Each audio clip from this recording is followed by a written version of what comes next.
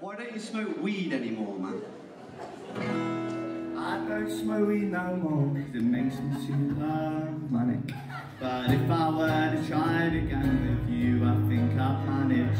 But I'm not gonna test it out because it's not worth the risk. I just thought I'd let you know if I decided to get high again. I'd picture this how it's out